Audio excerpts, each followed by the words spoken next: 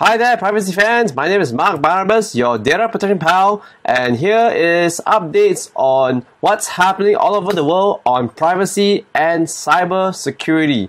And the most important news that happening this week or fortnight rather is the news from China. You might have noticed that over the couple of months I've been talking about China and here we go. China has launched or reviewed their draft privacy protection law and there are 70 points in it and trust me I am reading it and I will promise to do a review on it as soon as I finish the entire document. Yes all in Chinese. Of course there have been very nice translations but I want to read what's originally in Chinese and I promise you I'll do a review of the draft law.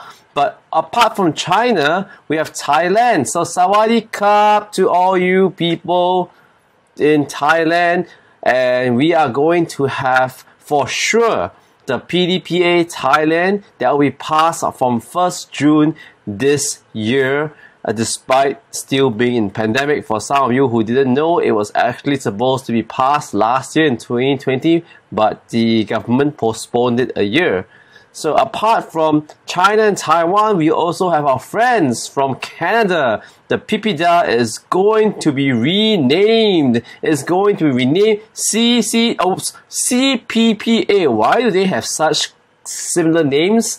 So it's called this. It's going to be called CPPA, uh, not to be confused with CCPA because this is the Consumer Privacy Protection Act. Yes, very similar to the CCPA, isn't it? So I just wish they just keep PIPEDA. I've been talking about PIPEDA for quite a while as well. And I thought that's a nice ring to the word PIPEDA. So goodbye PIPEDA and hello CPPA.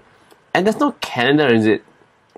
Anyway, so back to South Asia and we have our friends from Qatar who has also been updating their privacy laws and so we see all over the world, countries have been uh, introducing their privacy laws. They have been uh, working hard to talk about cybersecurity and the need for data protection. So if you are going to be doing business, if your country has not started to implement laws yet, I really strongly urge you to well look at some of the guidelines in other countries probably the ones near your vicinity and well start complying and of course if you're going to do business with countries like Europe, US, Singapore uh, it's good to uh, get hold of some of the guidelines and also put them in place in some of your business processes and operations.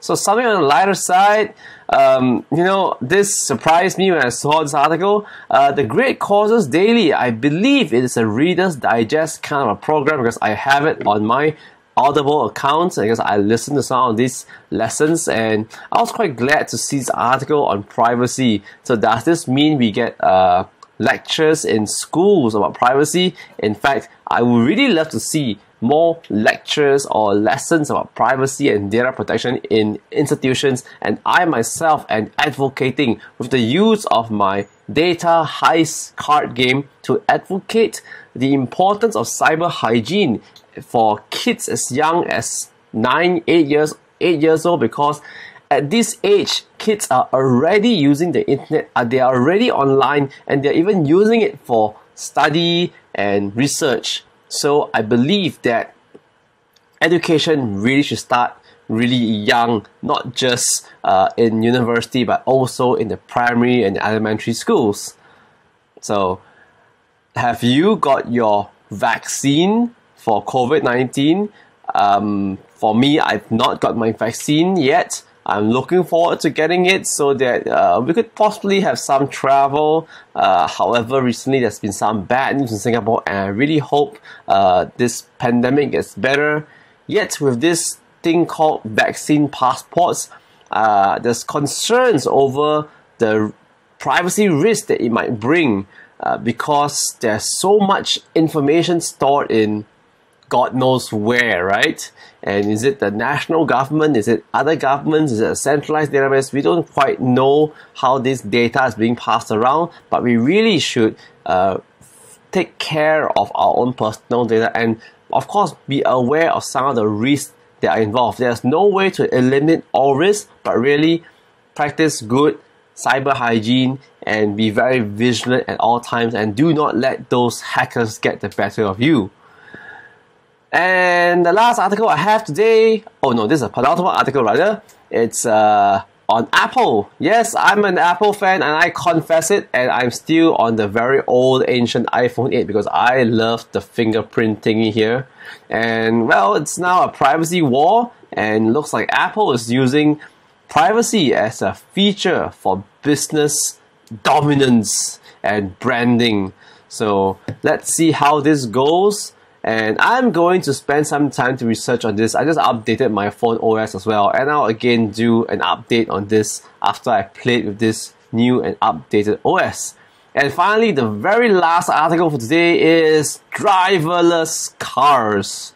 And what do driverless cars have uh, in relation to privacy?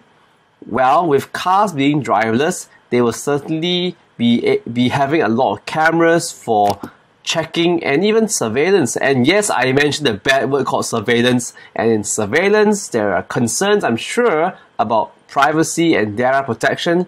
And just want to bring up this point that as the world is going towards uh, the use of robots in several functions, uh, we really have to again uh, take note of privacy and for the designers and engineers who are developing this please please please remember to apply privacy by design because it is so important to ensure that whatever solutions we build have privacy built in from day one and not have zero day errors. So my name is Mark Barnabas, your data protection pal, and really, I really hope that you have a great time. And remember, be safe and be good, be vigilant, and if you want to contact me, these are my social media cradles. Please contact me and feel free to subscribe and share. Oh yes, and yes, please subscribe! And good day and goodbye.